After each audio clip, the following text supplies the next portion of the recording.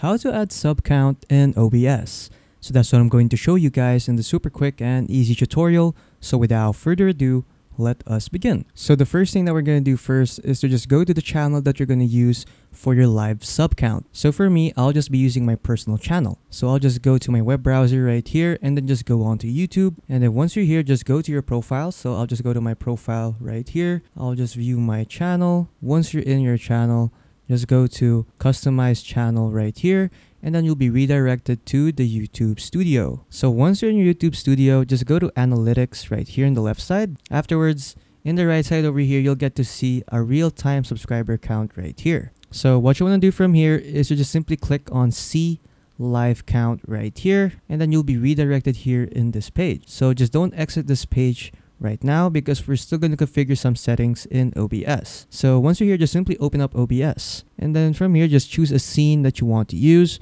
So for example, I'll just be using this scene right here that will just display a display capture. So once you are in your scene, just simply go to sources right here, click on this plus button, and then just simply click on browser. And then after that, you can name your browser scene to anything you like. So for example, I'll just name it YT subcount. There you go. I'll make it, I'll just click OK. And then there you go. And then once you're here, you can configure the width and height of your of your browser screen right here. But for me, I'll just leave it as it is.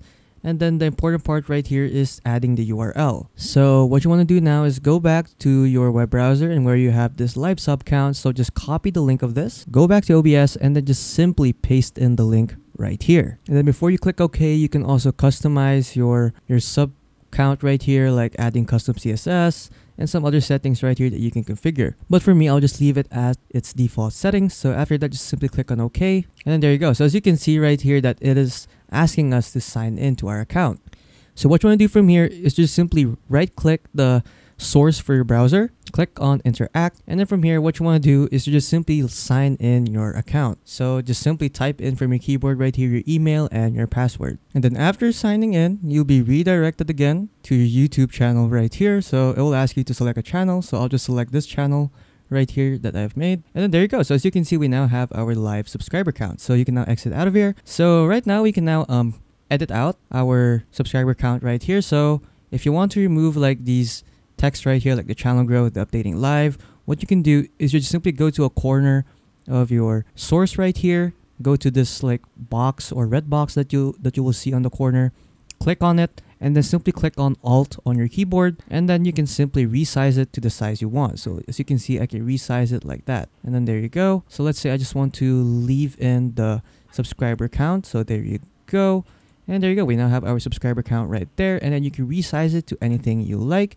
And then you can now put it anywhere you like. So as an example, I'll show you guys the live subscriber count. So I'll just open up YouTube on my phone and then I'll just simply unsubscribe and resubscribe to this specific channel. So I'll just um, open up a YouTube account from my phone and then let's say I'll just unsubscribe and resubscribe to this channel. So I am unsubscribing right now. Then let's just wait for it to reflect on the live subscriber count. And then there you go. So as you can see, the subscriber count went down to 302 and then I'll just click on subscribe again. And then let's just wait for it to update. And there you go. So as you can see that the subscriber count has now been updated. And then after that you're pretty much done. So yeah that's pretty much it on how to add sub count in OBS